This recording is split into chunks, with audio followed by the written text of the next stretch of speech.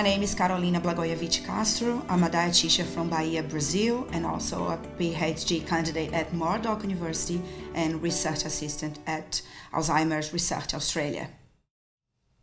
My education journey began with a deep connection, personal connection to neurological disease through a family member. So this experience uh, guided me, motivated me uh, on exploring how nutrition could ameliorate symptoms of neurological conditions. So my focus on the impact of the diet on neurological conditions has been a consistent theme through all my research and academia um, background since I started my undergraduate degree.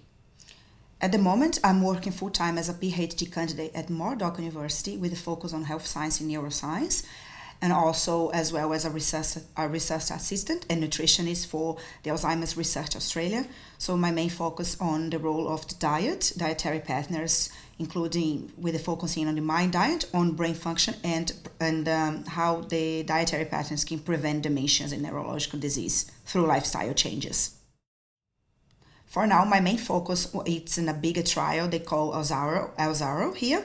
So our main focus on lifestyle change, including my diet, dietary change as well, on um, cognitive performance, for example. So my main focus would be right now analyzing the role of the diet, more specific, the, di- the food components align with the mind diet on brain function and preventing dementia and Alzheimer's disease here in Australia at this stage, we still recruitment participants. So we have two sites here in Perth and Sydney, but we're still in the recruitment. But I'm plan it's on the end of this year, we have the all data, the baseline data, so I can analyze some findings, some statistical analysis on uh, the mind diet uh, influence on cognitive performance, individual and composite score tests, for example. And now we will also analyze the influence of the diet on blood tests as glucose and other risk factors for dementia.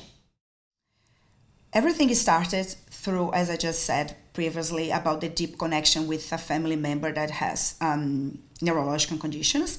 But through that, I would like to transform lives through health lifestyle changes. So the right and a minor change in your diet and the right dietary pattern can be a powerful tool in the fight against Alzheimer's disease this one's quite hard because when I they ask me these kind of questions, my friends always says you cannot say reading, because I do love to reading, especially cultural books from Brazil. Also, I love outdoor activities. I love nature contact with my family, my friends, my pet. I I I love to um, travel and meet new places and cultural things and different things. So I'm very interested to outside out outdoor activities as well.